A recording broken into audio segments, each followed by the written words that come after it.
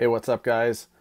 Today I'm going to show you how to make a custom snapcode with an image in the middle, whether that's your logo, uh, a headshot, whatever photo you want to be in the middle of your snapcode. I'm going to show you how to do it. It's free. Everything I'm going to show you, all the, the different websites you need to do this are all free. Uh, and this is how to do it on your desktop. So if you want to do it on your mobile device, then you're going to want to uh, go to YouTube and look up this guy, the Mike MC. Create your own custom snap code. He shows you how to do it all on your mobile phone, which is pretty cool. But I'm going to show you how to do it on your desktop. My name is Dustin Brohm. I am a real estate agent, an entrepreneur, and a tech, I'm sorry, a, a marketing guy here in Salt Lake City. I am the founder of SearchSaltLake.com, and it's a real estate and local info website here in Utah and I'm also the host of the Salt Lake of Salt Lake Insider, which is a new show on uh, YouTube and Facebook. So check that out. Hopefully, this video helps you guys out. So, here's the deal. First thing you're going to do to get your snap code as a PNG file, you're going to want to go to snapchat.com on your desktop. Go to Snapchat. Okay, so you're going to scroll down to the very bottom under Community you see snap codes. Click on snap codes. Right, you're going to log in. Once you log in, there's just going to be the option to boom, boom, download it. It's going to download it as a PNG file, and the background's not going to be black like it would be uh, if you downloaded it from your phone. And it's going to be transparent around the edges too. So it will look like this. I'm sorry, without my headshot in the middle it will look like this when you first download it. So now what we need to do is take this white background and turn it transparent. So how do we do that? You're going to want to go to lunapic.com. All right. lunapic.com, totally free. Just type in lunapic.com. Go there. You're going to want to then um, you can upload the file first, or you can just go to Edit and go down to Edit, go down to Transparent. Cool.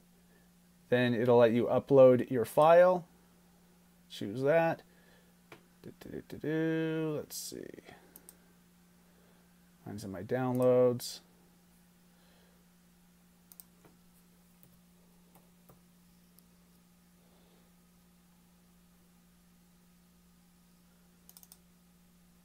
That. All right, so then it uploads my new snapcode that I just downloaded from snapchat.com. Let's see here. So what it says is make image background transparent. Click on the color you'd like to make transparent. So all you do is click here on the white in the middle. Click there.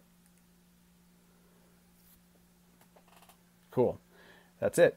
Now you see the checkered background there and also around the edges, that means that that is transparent. So the only thing you see here uh, that's not transparent is the white and the black, and this is transparent. So this can go on top of whatever photo or logo you want to have. All right, so then you're going to want to save this, and it saves it as a transparent PNG file. All right, so we have that. Sorry about the lighting, guys. Okay, so that's now in my downloads folder. Now you're going to want to go to canva.com. All right, hopefully you guys have been using Canva. It's a great free graphic design um, website, and you know you can create all sorts of cool stuff here. As you can see, it saved all my graphics I've done in the past. I have all sorts of stuff saved, so I can go back and edit it or whatever. So um, I'm gonna, since this is a perfect square, at the very top it has this pre-made 800 pics by 800 pics template called social media. Just click on that.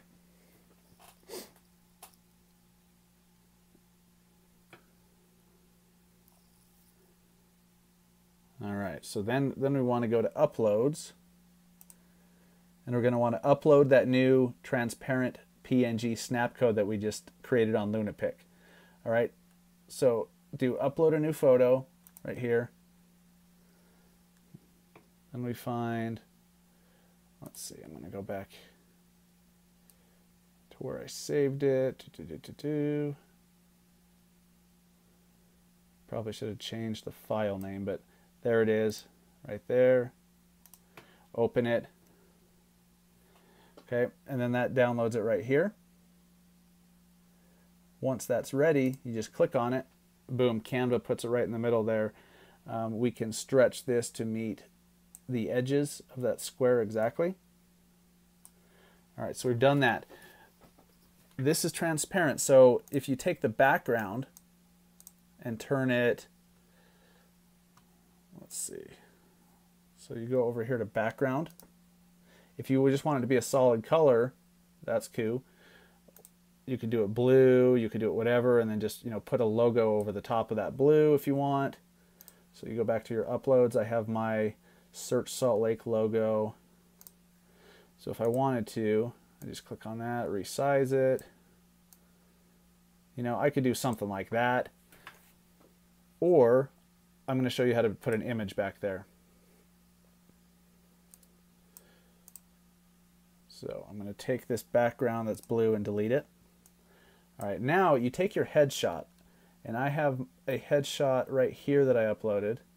But first, if I do the headshot, it's going to show around the edges. So I need to find what's called a frame. So go to Elements over here on the left, then click on Frames, and I'm going to look for a perfectly round one. So you're going to scroll down. This first one, that's not the one you want because this green bar in the middle is for text or whatever. You don't want that. You just want a plain old image, round image frame.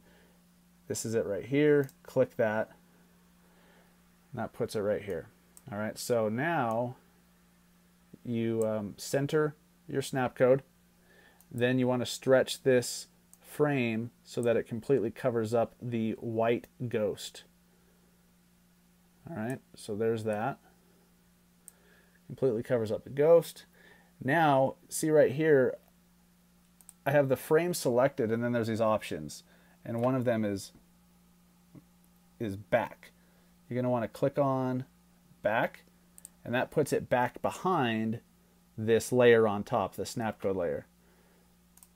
All right, so then I take this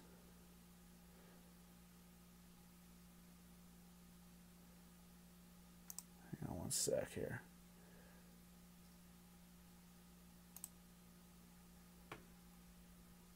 So now I'm going to go back though and put this snap code in the back.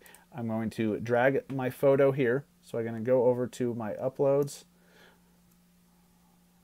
Sorry, the resolution's not so good on this, but I'm just using my iPhone. There we go.